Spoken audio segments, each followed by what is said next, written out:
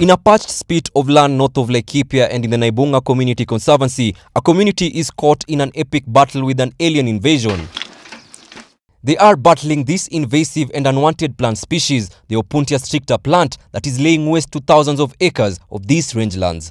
The plant, the locals say, was introduced by the colonial farmers as an ornamental plant, is now colonizing much of their land and is a thorn on their flesh. This cactus is a killer. It has brought the community's livestock and source of livelihood. It's also claimed a number of elephants. In fact, it is the second biggest elephant killer in the north after poaching.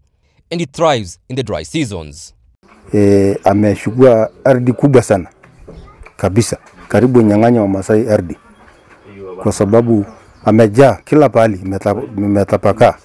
watoto wakikula hiyo wanapata shida, hata pia mifugo ni, ni zinafungu, inaharibu masho, zinaharibu matumba, hatukuli tena. For years, the community has tried and failed to control its spread until now. A tiny insect will take care of the community's biggest problem.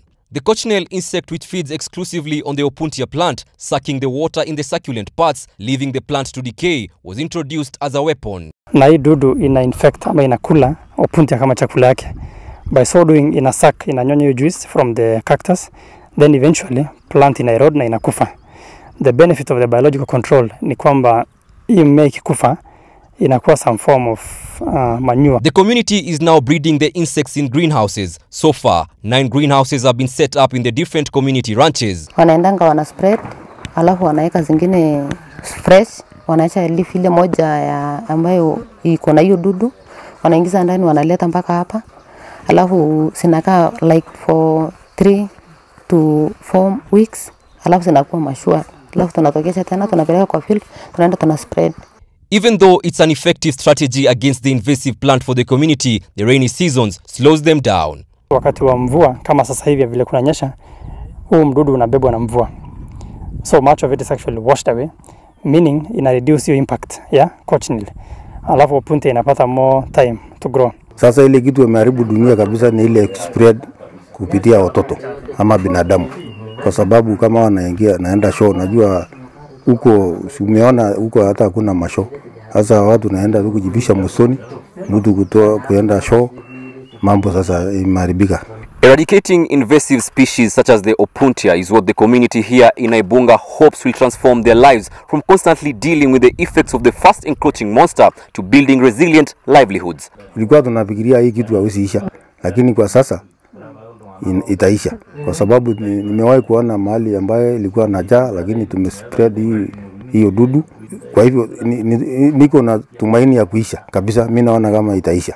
Tukiona tukishinda hii vita ya upunja, kuna sehemu kama hizi areas ambayo zilikuwa zime- zimetunyang'anya, tutaweka tutaweka kama paddocks ambayo tutakuwa tukilisha.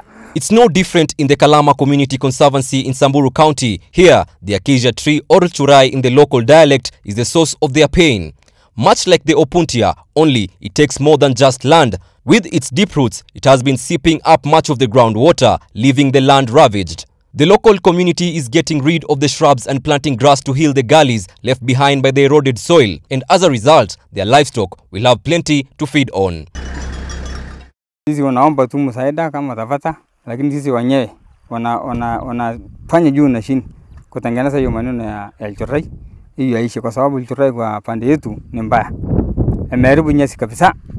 Sasa mahali mahali sasa amekata Elchorai, nyasi ameanza kutoka. The Northern Rangelands Trust, which offers expert advice to the community conservancy, winning the war against the invasive plant species is possible with consistency. Currently, we've seen success stories behind this improvement.